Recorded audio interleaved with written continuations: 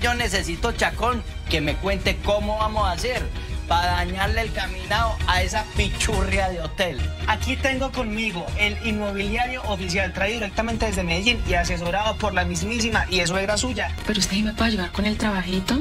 Justo ahorita yo estoy entregando mi empresita. Pero yo le puedo dar trabajo.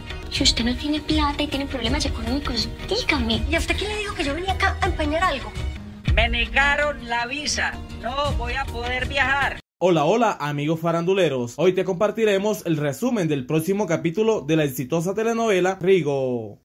Vemos a Rigo manifestarle a uno de los empresarios que él no va a poder viajar porque le negaron la visa. Paola regaña a Berenice al verla que se encuentra en el negocio de Baristo, que si ella está necesitada de plata le diga para que no tenga que hacer negocios con ese señor. Y ella contesta, ¿quién dijo que yo vengo a empeñar algo? Yo estoy aquí por una entrevista de trabajo. Una joven le pide trabajo a Michelle, pero ella no le garantiza nada porque entregó la empresa a la familia. Y Gustavo exclama que él sí le puede dar trabajo y Sofía y Silvia se quedan sorprendidas al ver que Gustavo está tan solidario. Chacho le da una noticia a su amigo hermano Rigo que el inmobiliario ya está en el negocio traído de Medellín y es asesorado por la misma ex suegra de él y Rigo se queda sorprendido. Evaristo arma un plan para dañarle la imagen al hotel porque no va a dejar que Rigo avance y crezca.